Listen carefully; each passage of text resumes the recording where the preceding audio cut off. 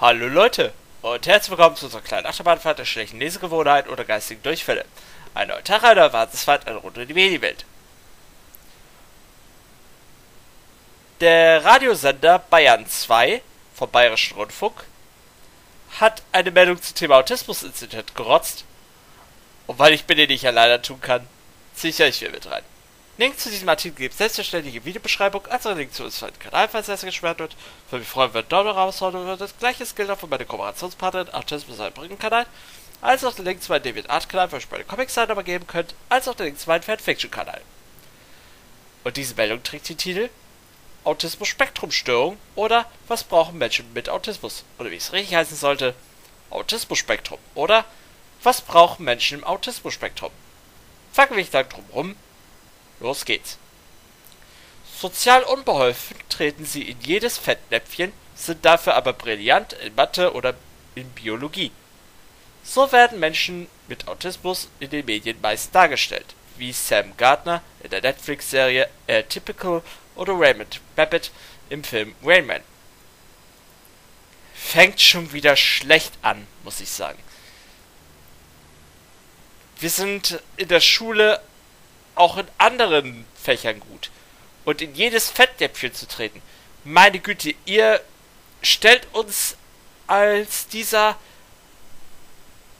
komische Anime-Charaktere, die sowieso vom Pech verfolgt sind. Die treten in jedes Fettnäpfchen, nicht wir. Und außerdem kommt nicht mit Serien wie Atypical oder Rayman bei uns an. Vor allem Rayman ist mal wieder so klischeehaft.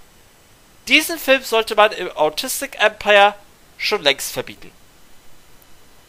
Weil das sowieso.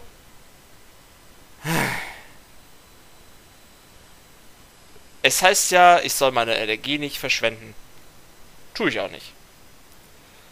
Und außerdem soll der Satz so lauten: so werden Menschen im Autismus-Spektrum in den Medien meist dargestellt, wie Sam Gardner in der Netflix-Serie Atypical oder Raymond Babbitt im Film Rayman. Weiter geht's.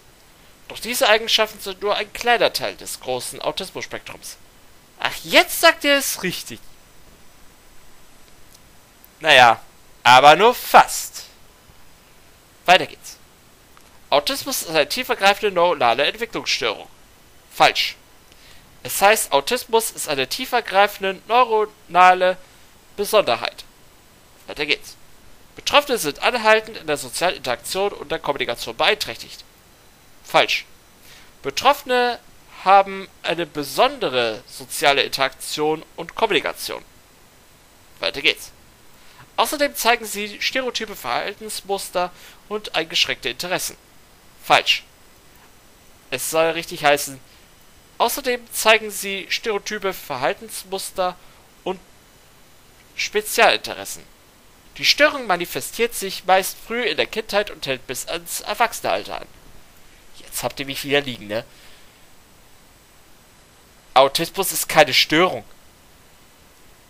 Meine Güte, kann man sich echt nicht ausdenken. Doch, wir werden sehr viele Fragen haben. Also wird das auch wieder ein längerer Artikel. Aber ich versuche es so kurz wie möglich zu halten, Leute. Deswegen fangen wir mal mit der ersten Frage an. Wie äußert sich Autismus?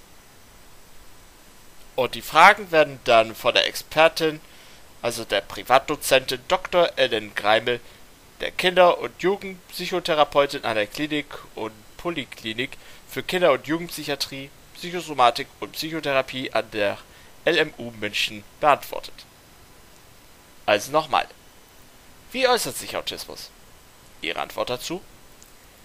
Eine Autismus-Spektrum-Störung zeigt sich in den folgenden Teilbereichen, wobei die Auffälligkeiten je nach Unterform variieren können. Störung. Unterform? Ja, warum schreibt ihr nicht gleich... Ich sage das Wort mitunter lieber nicht, sonst äh, wird mein Kanal sofort dicht gemacht. Das glaubt kein Mensch. Weiter geht's, komm. Soziale Interaktion. Menschen im Autismus-Spektrum haben Schwierigkeiten, die Emotionen anderer Menschen zu erkennen und nachzuempfinden und auch die eigenen Gefühle einzuordnen und zu zeigen.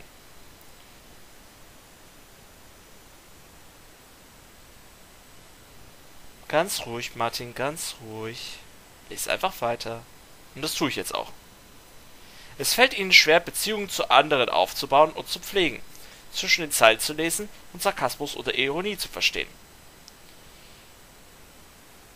Wie gesagt, Sarkasmus und Ironie, das können wir auch erlernen. Auch wie Freundschaften und Liebesbeziehungen, das können wir auch lernen. Weiter geht's.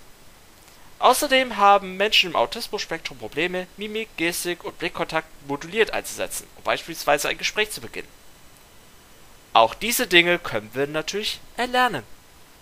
Weiter geht's. Visuelle und auditive Reize werden sehr stark wahrgenommen, sodass Menschen im Autismus-Spektrum oft reizüberflutet sind und mit Rückzug oder Aggression reagieren. Aggression? Meine Güte kann man sich nicht ausdenken. Jetzt stellt uns doch nicht als gewalttätige Menschen dar. Und wenn wir schon dabei sind, wir haben ja unsere Meltdowns. Das ist ganz normal bei uns Autisten, dass wir hin und wieder mal einen Meltdown kriegen. Besonders durch Artikel wie diese. Weiter geht's. Kommunikation. Die Sprachentwicklung bei Kindern im Autismus-Spektrum ist verzögert oder bleibt ganz aus. Viele betroffene Kinder benutzen ungewöhnliche Wortneuschöpfungen für bestimmte Dinge auch weit über den Zeitraum hinaus, in dem dies bei Kindern üblich ist. Ihre Stimme klingt oft monoton. Betroffenen fällt es schwer, ein wechselseitiges Gespräch, insbesondere Smalltalk, zu führen. Ja. Klingt bei mir auch irgendwie monoton. So, und jetzt könnt ihr das Video anhalten und in den Kommentaren schreiben, ob meine Stimme monoton klingt. Und wenn ihr die Antwort fertig geschrieben habt, könnt ihr dann das Video weiterlaufen lassen und wir lesen jetzt weiter. Repetitive Verhaltensmuster, eingeschränkte Interessen und Aktivitäten eingeschränkte Interessen und Aktivitäten, das kann ich so nicht stehen lassen, aber ich bin mal gespannt, was äh, sie darauf antwortet. Menschen im Autismus-Spektrum halten sich stark an Rituale, Regeln und Strukturen. Daher haben sie große Probleme mit Veränderungen. Sie haben häufig zwanghafte Züge. Essen wird zum Beispiel nur gegessen, wenn es eine bestimmte Form oder Farbe hat. Außerdem typisch sind bestimmte Handbewegungen wie das Wedeln der Hände in Augenhöhe. Diese sogenannten Manierismen dienen zur Stimulation oder Beruhigung. Menschen im Autismus-Spektrum haben oft sehr spezifische Interessen, denen teilweise so stark nachgegangen wird, dass sie das Leben der Betroffenen einschränken können, weil die Gedanken nur noch kaum kreisen. Neben diesen Hauptmerkmalen treten bei Betroffenen häufig eine weitere Reihe psychischer Störungen oder Verhaltensauffälligkeiten auf. Schlaf- und Essstörungen, Depressionen, Angststörungen und aggressives oder selbstverletztes Verhalten Autismus ist keine psychische Störung. Einfach mal darüber nachgedacht. Und eingeschränkte Interessen und Aktivitäten lassen sich so nicht stehen. Denn wir haben ja auch viele Hobbys. Und die können wir auch erweitern, wenn wir es wollen.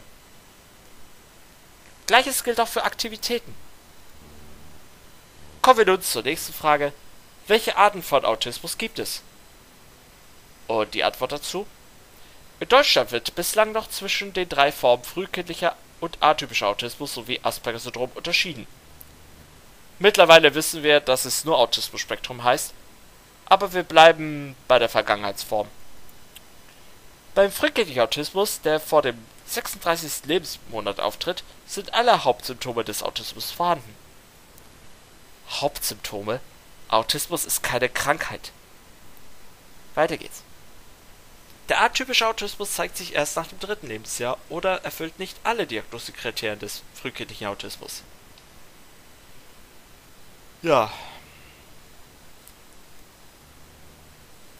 Das hätte ich auch äh, beim Diagnosegespräch auch bekommen können, aber das nur am Rande. Aber jetzt kommt's. Beim Asperger-Syndrom sind die sprachliche und kognitive Entwicklung nicht beeinträchtigt. Also habe ich sie doch zu Recht diese Diagnose bekommen. Aber jetzt weiß ich, dass es nur noch Autismus-Spektrum heißt und da gibt es nichts dran zu rütteln. Egal ob es von Bayern 2 kommt oder nicht. Aber gut. Genug davon. Was steht da noch? Experten gehen immer mehr dazu über, wie beispielsweise in den USA üblich, von einer Autismus-Spektrum zu sprechen. Das Störung habe ich bewusst weggelassen, ne? Ihr wisst es, Leute. Autismus ist keine Störung. Weiter geht's. Der Grund? Die einzelnen Diagnosen lassen sich nicht immer genau voneinander abgrenzen. Die Grenzen sind oft fließend. Grenzen. Was wissen die schon von Grenzen? Weiter geht's. Forscher gehen heute eher von einem Spektrum an milden bis sehr schweren Erscheinungsformen der gleichen Entwicklungsstörung aus.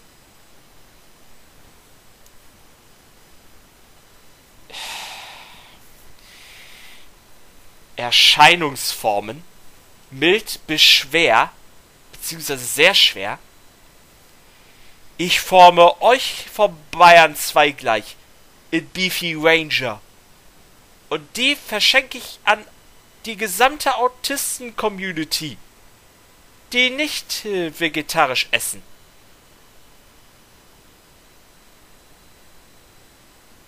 Und zwar gratis. Und hört endlich mit der Entwicklungsstörung auf. Da krieg ich neutrale Stimmung. Weiter geht's. Mit der nächsten Frage. Was sind die ersten Anzeichen von Autismus? Ihre Antwort dazu? Erste Anzeichen von Autismus treten ab dem 12. bis 18. Lebensmonat auf. Das Kind brabbelt nicht, es nimmt keinen Blickkontakt auf, verwendet keine Zeigegesten und reagiert kaum auf den eigenen Namen. Es interessiert sich mehr für Gegenstände als für Personen. Übergänge fallen ihm im weiteren Entwicklungsverlauf besonders schwer. Ein klassischer Fall die Eingewöhnung in die Kita. Das Kind nimmt keinen Kontakt zu den anderen Kindern auf, zieht sich in eine Ecke zurück hält sich die Ohren zu, ist geräuscheempfindlich. Das sind natürlich die Kinder im Autismus-Spektrum plötzlich mit einem Umfeld konfrontiert, das aus dem Blickwinkel der Kinder sehr unstrukturiert ist. Diese Veränderung fällt ihnen sehr schwer. Kinder im Autismus-Spektrum spielen auch anders als Gleichaltrige. Das Nachahmende oder so tun als ob Spiel fällt diesen Kindern schwer. Mit Spielzeug gehen sie anders um. Kinder nehmen ein Auto in die Hand, aber stellen sich nicht vor, dass das Auto zum Beispiel eine Straße entlang fährt, sondern sie nehmen das Auto und drehen lang an dem Rad und hören vielleicht dem Geräusch zu. Aber es entsteht nicht dieses Symbolspiel, wie man es von einem gesunden Kind eben kennt. Kommt nicht mit gesund an. Autismus ist keine Krankheit. Das müssen selbst Experten doch begriffen haben. Und das im Jahr 2023 kann man sich nicht ausdenken. Meine Güte, in welchem Jahr leben wir eigentlich? Ich hab's schon gesagt, Leute, 2023, ne? Und wenn ihr das Video erst Jahre später anguckt, dann halt diese, ja, in der wir derzeit leben, ne? Naja. Nächste Frage. Welche Ursachen hat Autismus? Autismus ist überwiegend genetisch bedingt. Das beweisen Zwillingsstudien. Bei eineigen Zwillingen haben in der Regel beide Geschwister Autismus, anders als bei den zweieigen. Man geht davon aus, dass bei den meisten Fällen eine Vielzahl von Genen involviert sind. Es handelt sich um eine hochkomplexe Ursachenlage mit vielen möglichen Kombinationen genetischer Abweichungen. Damit erklären Forscher die große Bandbreite an Ausprägung des Autismus-Spektrums eine wesentlich kleinere Rolle spielen andere Faktoren wie ein niedriges Geburtsgewicht, Frühgeburtlichkeit und Sauerstoffmangel während der Geburt. Niedriges Geburtsgewicht, auch nicht höheres Geburtsgewicht, also sagen wir mal 4 Kilo aufwärts. Und dass äh, bei Zwillingen auch niedriges Geburtsgewicht ist. Hin und wieder meine Güte. Ähm, Das ist äh, bei Mehrlingsschwangerschaften doch ganz normal, dass äh, die Kinder früher geboren werden. Wenn bei einer Mehrlingsschwangerschaft 39 bzw. 40 Schwangerschaftswochen hätte, was meint ihr wohl, wie groß dann der Bauch der Mutter ist? So ähnlich wie bei Nadja Sulman. Ich weiß nicht, ob ihr die noch kennt. Das ist die Frau mit den Achtlingen. Oder Achtlingsmutter. Naja. Weiter geht's. Das sind unspezifische Faktoren, das heißt, die finden Sie auch bei vielen anderen psychischen Störungen. Fun Fact: Autismus ist keine Störung. Auch keine psychische. Weiter geht's. Man nennt man, wobei hier noch viel Forschung erforderlich ist, dass die diese Faktoren auch ein Wechselspiel mit den Genen aufweisen. So Dr. Ellen Greimel. Auch eine Rötelinfektion der Mutter während der Schwangerschaft kann ein Risikofaktor sein. Zahlreiche andere mögliche Faktoren, zum Beispiel das Alter der Eltern oder der Einfluss von Umweltgiften, werden ebenfalls als Risikofaktoren diskutiert. Und ihr von Bayern 2 habt Risikofakotren geschrieben. Und wir können mal gucken, ob das äh, Wort auch gibt. Ich habe zur Not immer ein Wörterbuch dabei. Und Risikofaktoren ist richtig. Nicht Risikofakotren. Könnte ein Medikament sein, aber ist aber falsch. Wie wird Autismus im Kindesalter diagnostiziert? Ihre Antwort dazu?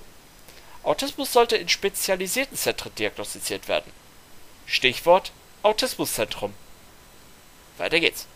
Am Anfang steht der detaillierte Bericht der Eltern über die Entwicklungsgeschichte des Kindes. Wie war die sprachliche Entwicklung? Tritt es mit anderen Kindern in Kontakt? Reagiert es, wenn die Eltern den Namen rufen? Dazu kommt die Verhaltensbeobachtung, je nach Alter des Kindes werden bestimmte Spiel- und Gesprächssituationen kreiert. Beispielsweise fange ich ein Gespräch an. Jetzt haben wir zwei schon so viele Aufgaben bearbeitet, ich habe jetzt richtig Hunger. Und dann wartet man, wie reagiert das Kind darauf? Gibt es etwas von sich preis? Fragt es nach? Kommt ein Gespräch zustande? Wichtig ist auch eine Intelligenz- und Entwicklungsdiagnostik sowie bei sprachlichen Auffälligkeiten eine Sprachentwicklungsdiagnostik. Außerdem wird das Kind internistisch und neurologisch untersucht, um andere Faktoren auszuschließen. Wenn das Kind zum Beispiel auf Ansprache nicht reagiert, muss eine Hörbehinderung ausgeschlossen werden. Diese ganzen Puzzlesteine werden dann zusammengesetzt. Wichtig ist eben, dass die Diagnostik von Experten und Expertinnen durchgeführt wird, die Erfahrung haben, was das Störungsbild anbelangt, aber auch was den gesunden Entwicklungsverlauf anbelangt, um das abgrenzen zu können. Dann kann eine Einschätzung erfolgen, ob die Diagnose vergeben wird oder nicht. Oft dauert es lange, bis Eltern eine Diagnose erhalten. Das liegt auch daran, dass eine Vielzahl anderer möglicher Diagnosen und Vermutungen ausgeschlossen werden muss. Eine Regulationsstörung kommt bei mehreren psychischen Störungen im Kindesalter vor. Zwanghafte Verhaltensweisen können auch auf eine Zwangsstörung hinweisen. Ein Kind, das keinen Kontakt zu anderen Kindern aufnimmt, gilt vielleicht zunächst als besonders schüchtern. Und ich würde es auch bei besonders schüchtern auch belassen. Denn Autismus ist weder eine Störung noch eine Zwangsstörung. Und jetzt kommen wir zu einer Frage zu dem, nämlich Gleichstellung, aber erstmal gucken wir, was die Frage lautet. Sind Jungen und Mädchen gleichermaßen betroffen? Ihre Antwort dazu? Deutlich mehr Jungen bekommen eine Autismusdiagnose. Auf jedes diagnostizierte Mädchen kommen vier oder fünf Jungen. Allerdings weisen Studien darauf hin, dass Mädchen unterdiagnostiziert sind. Sie müssen schwerwiegendere Symptome aufweisen, um eine Diagnose zu erhalten. Das liegt unter anderem daran, dass Autismus bis vor einigen Jahren als Jungenkrankheit galt. Autismus ist keine Krankheit und kommt nicht mit Symptomen an. Meine Güte. Das von der Expertin. Ich glaube. Ich rege mich mal wieder ab und lese weiter. Auch können Mädchen bestimmte Beeinträchtigungen, insbesondere der sozialen Interaktion, besser kompensieren. Lass mich raten, es geht um Masking. Aber kommen wir zur nächsten Frage. Warum gibt es immer mehr Autismusdiagnosen? Ihre Antwort dazu? Immer mehr Kinder bekommen Autismusdiagnose. Äh, ihr habt eine Autismusdiagnose schreiben müssen. Weil das ist schon wieder falsches Deutsch. Weiter geht's. Bei solchen und ähnlichen Schlagzeilen könnte man meinen, dass die Entwicklungsstörung in den letzten Jahren stark zugenommen hat. Kommt nicht mit Entwicklungsstörung bei mir an. Ich bin wohl eher der Meinung, dieser Artikel von Bayern 2 ist in der Entwicklung gestört.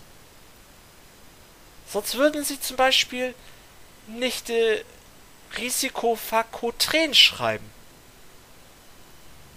Das Wort gibt es gar nicht. Vielleicht irgendwann mal als Medikament. Für was? Keine Ahnung. Weiter geht's. Früher ist man davon ausgegangen, dass eine Störung aus dem autistischen Spektrum bei ungefähr 4 bis 5 von 10.000 Menschen auftritt, also 0,04 bis 0,05% der Bevölkerung. Anmerkung der Redaktion. Inzwischen sind diese Schätzungen, was die Häufigkeit anbelangt, aber verändert. Man sagt, 1% der Bevölkerung ist betroffen, wobei es auch konservative Schätzungen gibt. Ja, und eine bestimmte Schätzung zufolge sollte es 2,8 mittlerweile sein. Denn 2,8% ist jetzt die aktuelle Autismusquote. So einfach ist das. Nächster Abschnitt. Ellen Greimel geht davon aus, dass es sich hierbei nicht um eine wirkliche Zunahme der Fälle handelt, sondern allein eine Zunahme der Diagnosen. Eine starke Darstellung von Menschen im Autismus-Spektrum in den Medien hat dazu beigetragen, dass die Entwicklungsstörung in der Gesellschaft präsenter ist. Schreibt doch statt Entwicklungsstörung doch lieber Besonderheit hin. Meine Güte. Weiter geht's, komm. Außerdem habe sich laut Ellen Greimel die Diagnostik verbessert und heutzutage werden, anders als früher, auch leichte Formen des Autismus diagnostiziert. Leichte Form. Ich forme euch gleich in Beefy Ranger, wenn ihr nicht sofort mit Worten wie Formen aufhört. Meine Güte, kann man sich nicht ausdenken. Wir haben noch sechs Fragen, das wird lang, Leute. Wie wird Autismus behandelt? Ihre Antwort dazu? Autismus ist nicht heilbar.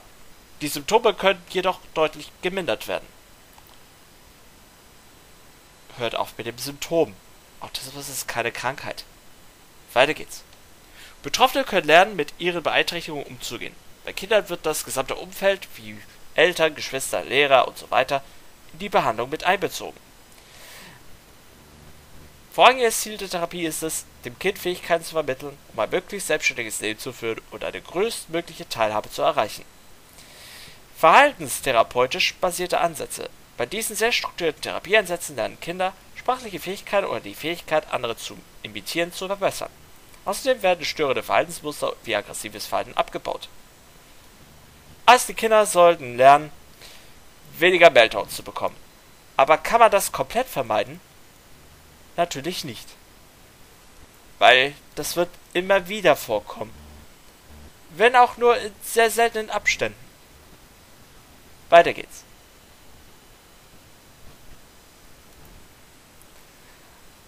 In sozialen Kompetenztrainings lernen ältere Kinder und Jugendliche die wechselseitige Interaktion, also zum Beispiel in Gesprächen dem Gegenüber Fragen zu stellen und auf seine Antworten einzugehen. Anpassung der Umwelt. Hilfreich ist auch, die Umwelt für Betroffene so anzupassen, dass sie sich gut darin zurechtfinden. Ein solches Konzept ist TEACH, also Treatment and Education of Autistic and Related Communication Handicapped Children, auf Deutsch Behandlung und pädagogische Förderung autistischer und in ähnlicher Weise kommunikationsbehinderter Kinder. Obwohl, Fun Fact am Rande, Autismus keine Behinderung ist. Weiter geht's. Dieses Konzept soll Betroffenen helfen, Raum, Zeit Tätigkeiten besser zu visualisieren und dadurch zu strukturieren. Der Tagesablauf beispielsweise wird als Plan visualisiert, an dem Sie sich orientieren können. Ich stehe auf, danach ziehe ich mich an, danach gibt es Frühstück. Die Umwelt muss natürlich auf die Menschen im Autismus-Spektrum zugehen und schauen, wie man auch die Stärken fördern und nutzen kann. Das ist auch für das Selbstbewusstsein der Betroffenen sehr wichtig. Medikamente? Es gibt kein Medikament, das die Kernsymptomatik lindern kann. Und es gibt ein bestimmtes Medikament, das die Kernsymptomatik bei Fake News lindern kann. Und zwar Beefy Ranger zum Beispiel. Weiter geht's. Selbstbestimmte Begleitsymptome wie Angst, Aggressivität oder Zwänge können als ein Bestandteil der Gesamtbehandlung medikamentös, zum Beispiel mit Antidepressiva, behandelt werden. Zwänge. Das kommt mir doch irgendwie bekannt vor. Zwänge, Zwänge, Zwänge. Ah ja. König Thomas. Schon klar. Weiter geht's, komm. Eine medikamentöse Therapie kann begleitend zu einer psychosozialen Behandlung sinnvoll sein. Wenn die störenden Verhaltensweisen dadurch ein Stück weit reduziert sind, können sich die Kinder besser auf die Behandlung einlassen. Kommen wir nun zur nächsten Frage. Sind Menschen im Autismus-Spektrum besonders intelligent? Ihre Antwort dazu? In Fernsehserien oder Filmen werden Menschen im Autismus-Spektrum sehr häufig als hochintelligent dargestellt. Der Film Railman aus dem Jahr 1988 hat maßgeblich dazu beigetragen, dass Autismus oft mit Hochbegabung gleichgestellt wird. Ähm, Inselbegabung wollte wahrscheinlich sagen, beziehungsweise auch als Savant-Syndrom halt bekannt, ne? Weiter geht's. Da Menschen im Autismus-Spektrum sich sehr stark für spezifische Dinge interessieren, kommt es tatsächlich vor, dass manche von ihnen in einem bestimmten Teilbereich erstaunliche Fähigkeiten entwickeln, zum Beispiel im Kopfrechnen oder in der Merkfähigkeit. Diese sogenannte Inselbegabung zeigt sich laut Dr. Alan Greimel bei rund 10% der Menschen im Autismus-Spektrum. Allerdings könne nur ein Teil diese Begabung so einsetzen, dass sie für die Betroffenen von Nutzen sind Entgegen der medialen Darstellung ist nur ein kleiner Teil der Menschen im Autismus-Spektrum überdurchschnittlich begabt. Bei Autismus kommen alle Ausprägungen der Intelligenz vor. Ein Teil der Betroffenen hat unterdurchschnittliche intellektuelle Fähigkeiten oder eine geistige Behinderung. Es gibt natürlich die Menschen im Autismus-Spektrum, die überdurchschnittlich begabt sind. Es gibt aber einfach auch viele Betroffene, die schwere Beeinträchtigungen haben oder auf sehr viel Unterstützung angewiesen sind ja, sehr viel Unterstützung. Also auch mit Schulbegleitung und so weiter. Und jetzt kommen wir zur nächsten Frage. Können Kinder im Autismus-Spektrum eine Regelschule besuchen? Ihre Antwort dazu? Grundsätzlich können Kinder und Jugendliche mit normaler Intelligenz die Regelschule besuchen. Allerdings stellen die Klassengröße, die vielen sozialen Situationen mit Mitschülern und Lehrern und der Lernpegel eine enorme Herausforderung dar. Kinder im Autismus-Spektrum haben auf Regelschulen ganz schön zu kämpfen, weil die Regelschulen bestimmte Merkmale nicht aufweisen, die die Kinder im Autismus-Spektrum bräuchten. Kinder im Autismus-Spektrum profitieren von kleinen Klassen mit einem Lehrer, der viel über das Krankheitsbild weiß und zusätzlicher pädagogischer Unterstützung, zum Beispiel durch einen Schulbegleiter. Autismus ist keine Krankheit.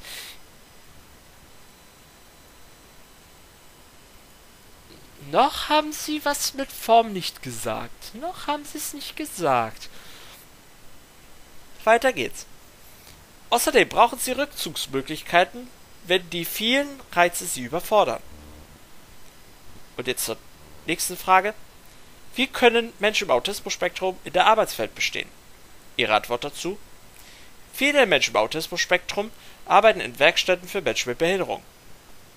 Wie bitte? Wir im Autismus-Spektrum haben überhaupt nichts in Werkstätten für Menschen mit Behinderung zu suchen. Weil damit werden wir überhaupt nicht gefördert.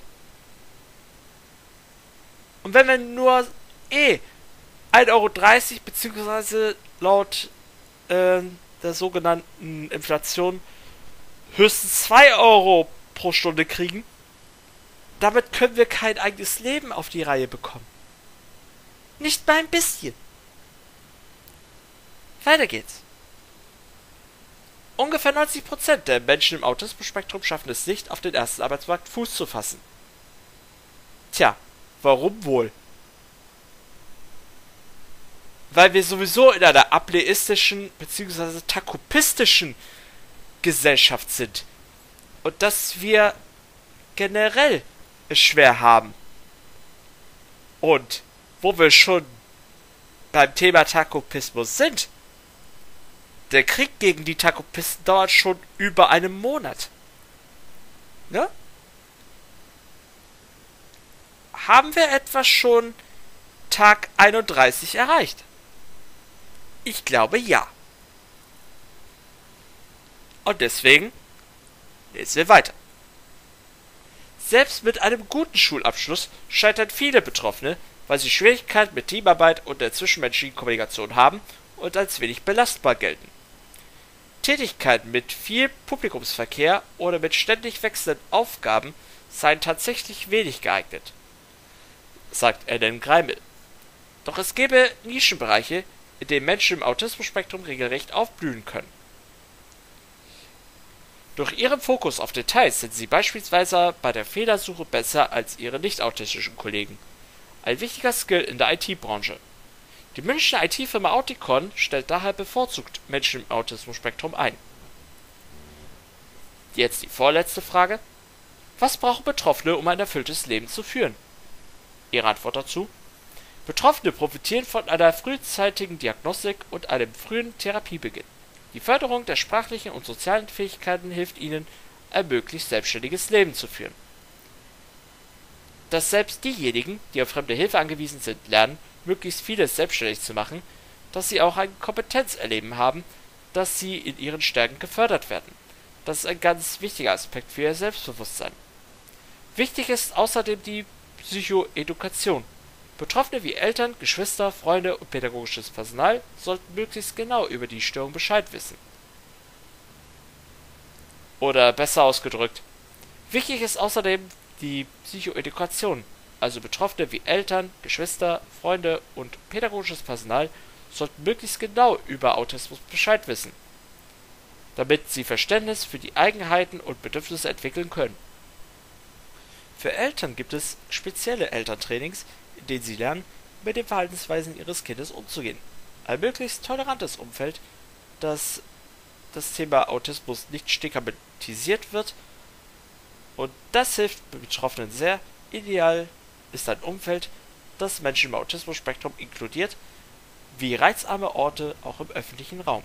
So haben beispielsweise einige Supermärkte in Deutschland bereits auf die Bedürfnisse von Menschen im Autismus-Spektrum reagiert und eine stille Stunde eingeführt, bei der sie bei gedimmtem Licht und ohne Hintergrundmusik und Lautsprecherdurchsagen einkaufen können.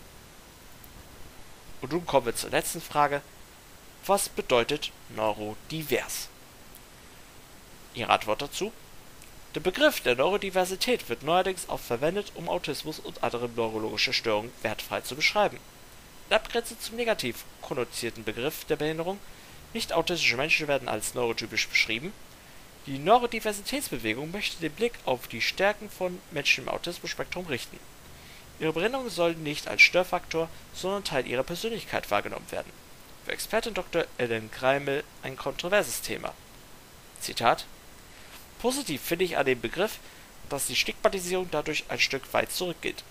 Auf der anderen Seite muss man, finde ich, sehr darauf achten, dass dann die, die Grenzen nicht verschwimmen. Man sollte die Erkrankung nicht verharmlosen, denn es gibt viele Betroffene, die sehr auf Hilfen angewiesen sind. Es ist wichtig, dass man diesen Bedarf sieht und dem auch gerecht wird. Autismus ist keine Krankheit. Also ich glaube, da hat jemand sehr viel zu lernen. Was soll ich dazu sagen, Leute?